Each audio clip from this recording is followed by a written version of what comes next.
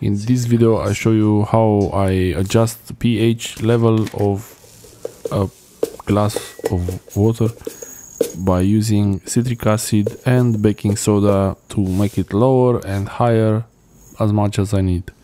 You can use this to adjust the pH temperature, the pH level of soil with the water or to adjust the pH level of a fish tank. Also, in many fermentation processes, or if you make uh, anything, drinks, fermented drinks, or anything, the pH level is super important. So, if you want to get your recipes right, the pH uh, meter works like this. 0.5. It depends if you would be able to use baking soda or citric acid, but I don't see any reason why not, because they are uh, easy. You can use lemon juice to make uh, water more acidic if you wanted to. 0.5. On the scale of the pH meter, the lower the number, the more acidic the solution, and the higher the number, the more towards the base. Acid, citric acid in baking soda.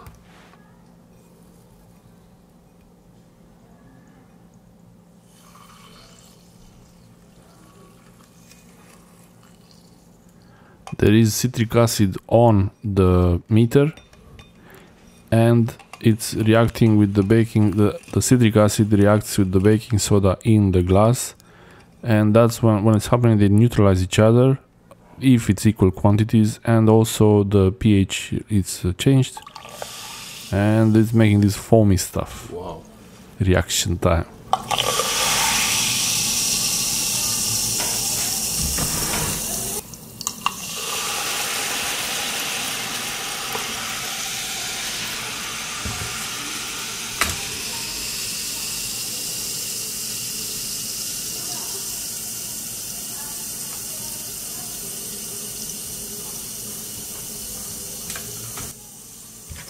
It gets really fizzy and while the bubbles are going on the pH level is getting stabilized. Depending if it's more citric acid or more baking soda it will stabilize higher or lower on the pH meter level.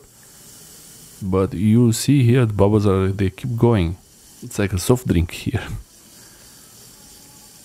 I mean this is uh, interesting to watch the bubbles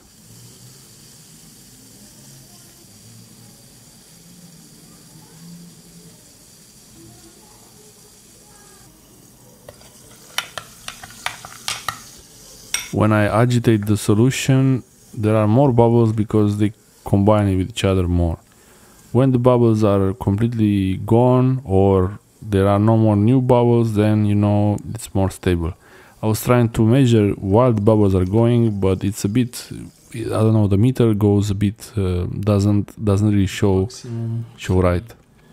2, 1.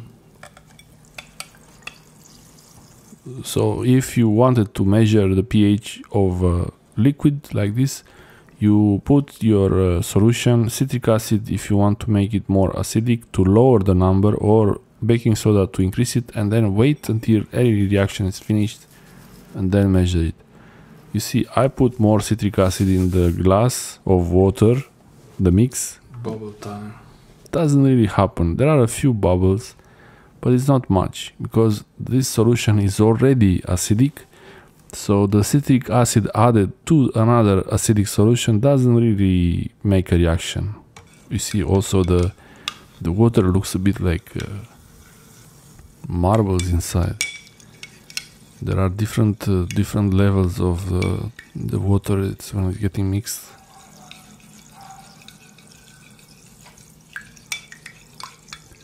If you mix it it really helps a lot to get it stabilized sooner but yeah you can just wait Needs to stabilize, but it's about 14, 12, 7. So I had to shake it a little bit. 7.3, 7.7. Okay, shake it. This is the other plain water. Six point eight, six point four. And let's try this magic thing.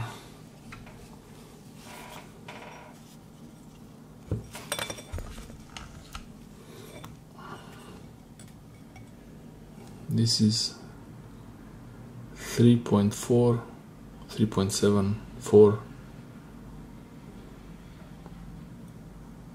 4.8 I can use baking soda.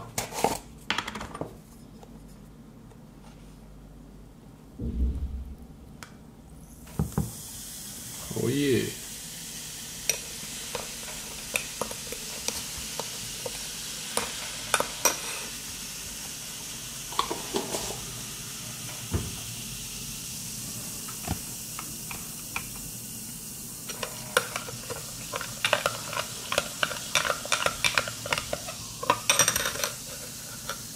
The solution. Before I put the baking soda in was very acidic, but now it's going to increase, and at every step it will increase as you will see now.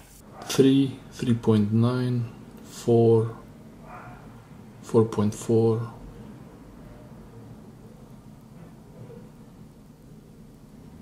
4.4 4 4.4 4.5 soda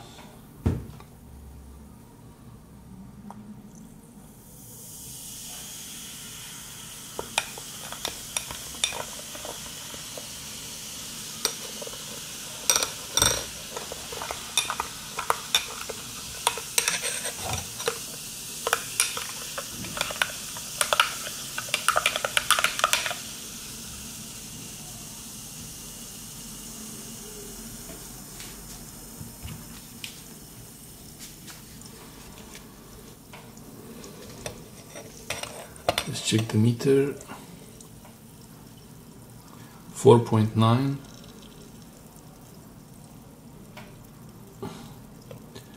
4.5 5.1 5 5.4 5.9 so it's going up. Here.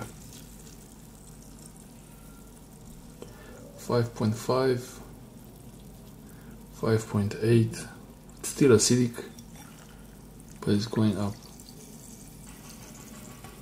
5.86 6